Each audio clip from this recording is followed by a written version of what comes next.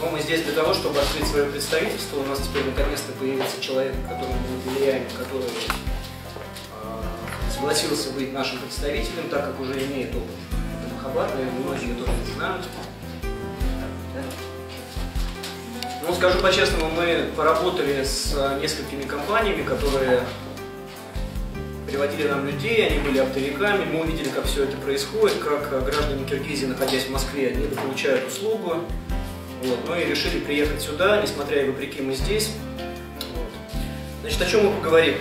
Каждый из вас хочет получить американскую визу, каждый из вас хочет уехать в Америку. Сам я приехал 10 дней назад из Нью-Йорка.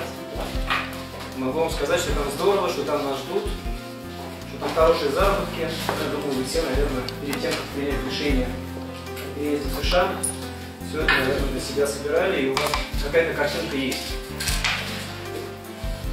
Так, ну смотрите, значит, сразу я вам сам лично задам вопрос. Скажите, пожалуйста, кто из вас э, задействован в сельском хозяйстве? Вот, занимается конкретно предпринимательством, связанным с сельским хозяйством? Поднимите, пожалуйста, руку. Есть такие? Свое фермерское хозяйство? Частично, то есть, если есть, то есть вы один, да? Кто-то еще есть в сельском хозяйстве?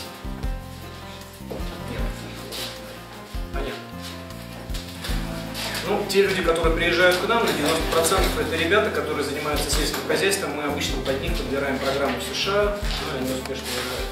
Так вот, значит, у нас с вами, не у нас с вами, а американский законодатель предусмотрел три варианта, по которым вы сможете уехать в Соединенные Штаты. Значит, первый – это неиммиграционные визы.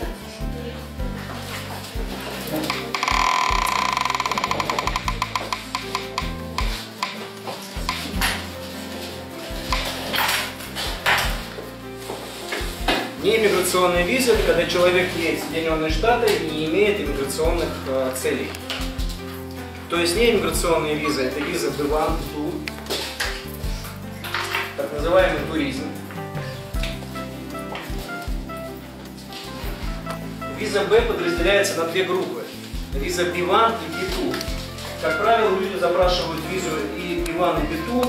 Кто-то ее запрашивает раздельно.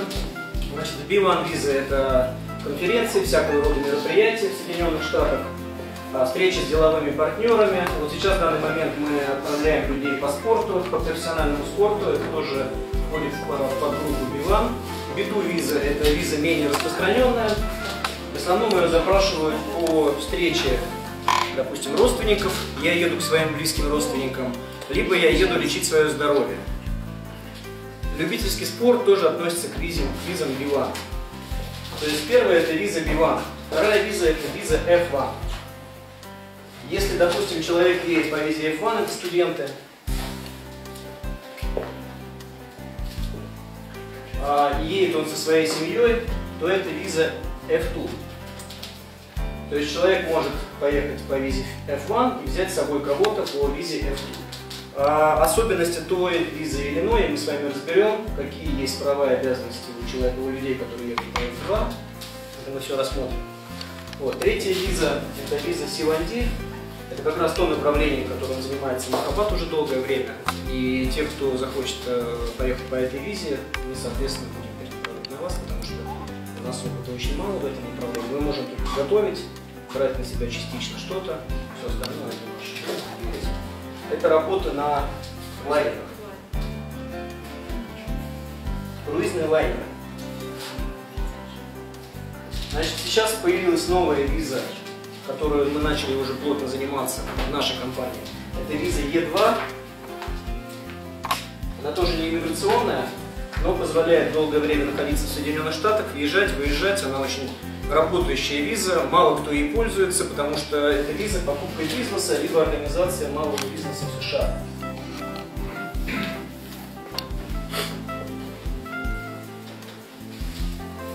Веду ее в кружок, потому что эта виза мне очень интересна. Хотел бы больше о ней рассказать. То есть виза Е2 это покупка либо организация бизнеса в США. Всего она, по-моему, предусмотрена для 6 или для 7 стран, и Киргизия входит в, в это число.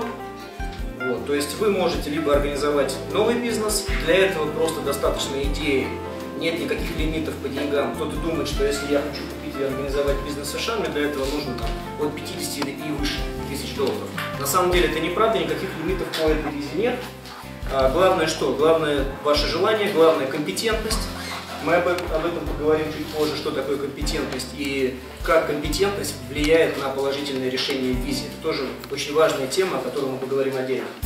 Вот, то есть виза Е2, у вас есть идея, вы хотите реализовать ее в Соединенных Штатах, вы можете обратиться к нам, у нас есть представительство, у нас два представительства в Нью-Йорке, у нас среди нас есть а, паралигал, это человек, которому осталось полшага до статуса адвоката, это Марина, она работает у нас по ЛГБТ направлению по кейсу на политубежище, и в том числе и по визам, по визам Е2. То есть это подготовка бизнес-плана и отправка его в, а, департамент иммиграции и гражданства для рассмотрения. То есть в итоге вы можете получить визу Е2 и заниматься бизнесом. Главное что? Главное показать, что у вас есть какой-то оборот, что вы готовы и можете своим бизнесом обеспечить себя первое время. То есть, если вы на это способны, если ваша профессия позволяет в США это организовать, не зря я спросил про сельское хозяйство, потому что это тема, которую тоже можно выделять в отдельное, в отдельное направление. Вот, эта виза не иммиграционная, то есть по этим визам вы можете ехать в Соединенные Штаты, по этим визам вы можете там находиться. Значит, по визе Б, Б виза это 6 месяцев пребывания, Дальше вы должны уехать из Соединенных Штатов и вернуться только спустя 6 месяцев. Если вы были в США 3 месяца, то, соответственно, 3 месяца вы там побыли, уехали, вернулись опять через 3 месяца. Значит, по визе F1 вы можете находиться один год. Виза F1 позволяет вам через 2-3 э, месяца получить Social Security номер. Это номер социального страхования, и где-то через неделю 2-3 вы можете получить разрешение на работу и спокойно работать по этой визе. Но главное, что вы должны учиться в школе. То есть это может быть колледж. Наша компания Атлант работает с колледжем Эйса. Это колледж на Бродвее. Я делал в своем, а, на своем канале YouTube даже видео, как устроиться на курс английского языка в США. Делал с русским языком без английского. Когда вы приходите, вас встречает менеджер. Можете посмотреть на нашем канале, я видео выкладываю. Вот, спасибо, Анди, это на но опять же здесь вот есть э, сезонность, да, насколько я знаю. Сейчас в феврале месяце запрос Вот. По Е2 визе можно запрашивать в любое время. Значит, это не иммиграционные визы, это самые распространенные, которые мы, как правило, запрашиваем. Вот. Значит, следующий момент – это виза иммиграционная. Самое главное по иммиграционным визам – это знание английского языка. То есть, если английский язык у вас не очень хороший, то вы можете из иммиграционных виз запросить только визу L1, L2. Это виза, когда вас берет на работу компания, которая здесь имеет большой крупный оборот, и она делает вам перевод. Переход из главной компании в филиал. В данном случае английский язык не нужен, но эта виза достаточно долгая, ее делают обычно год, бывает даже дольше, и по деньгам она стоит ну, не, не дешевая виза. Вот. Следующий момент виза иммиграционная – это H1B виза для некоторых стран H2B, виза для жениха и невесты К1. Это все иммиграционные визы, которые тоже можно запрашивать. Ну и третий момент, самый важный, это когда человек может ехать вообще без визы. Это два вида паролей. Так называемое политическое убежище.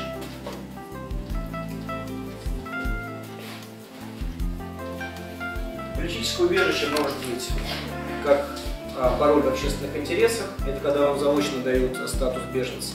Если, допустим, а, лимит 10 тысяч человек на год исчерпан, то вам дают статус пароля. Вот. Подавать вы можете в своем посольстве, либо уже находясь на территории Соединенных Штатов. Тоже интересная программа. Если кого-то она заинтересует, завтра мы будем в офисе и по трем этим направлениям можем с вами поработать. Так вот, ну сейчас я так думаю, что большинство из вас хочет, наверное, рассматривать не иммиграционную визу, да или нет? Да? То есть английский язык не у всех хороший. Да? Или есть те, кто может спокойно запрашивать иммиграционную визу? Есть такие? Есть. Да, ну давайте я начну с самой распространенной, с неиммиграционной визы, как она формируется. А, самый такой главный вопрос, есть ли гарантия при получении американской визы, которая не иммиграционная? Я могу сказать, что она есть. Она есть, когда вы соблюдаете полностью требования американского законодательства и вы готовы. Значит, что мы делаем, когда клиент приходит к нам в офис и хочет получить э, туристическую визу, либо студенческую визу? Давайте начнем с визы B. Иммиграционная виза. Рисую, как всегда, свой любимый кружочек. Кружочек делится на четыре части. Назовем это кейс. Это то, что мы формируем в процессе, в процессе работы с клиентом. Этот кейс формируется таким образом, что первое – это визовая история, второе – деловая активность, третье – это то, что вы делаете в Соединенных Штатах, и четвертое – это другое. Разбивается на проценты. То есть, если вы запрашиваете визу то виза,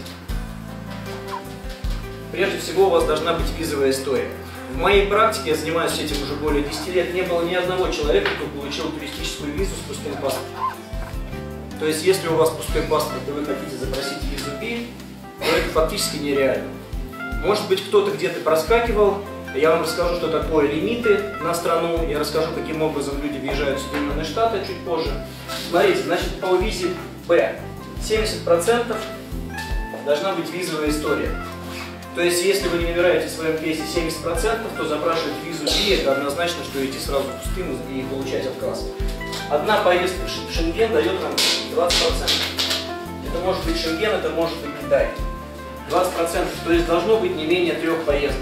Вообще, на самом деле, лично я, когда готовился к получению визы, у меня был полный паспорт шенгенских виз, так как я работал в Евросоюзе, ну, не то, что даже работал, а часто туда ездил в активности. То есть 20% нам дает визовая история. Следующий момент – это деловая активность. Деловая активность должна быть 20%. Причем есть такие профессии, которые наоборот снижают нам эти 20%, они, они повышают. Например, если вы водитель грузового автомобиля, и вы показываете в анкете ДС-160, вот та анкета, которая заполняется в посольство, что вы водитель грузового, грузового автомобиля, это означает, что вы приедете в Соединенные Штаты и будете там работать на трак-драйвере. Трак-драйвером. Это зарплата от 7 тысяч долларов и выше. Однозначно вы снизите здесь себе рейтинг. Если вы работаете, допустим, где-то в найме, с какой-нибудь невысокой зарплатой, соответственно, вы не получите свои 20%. То есть здесь нужно показать вашу деловую активность.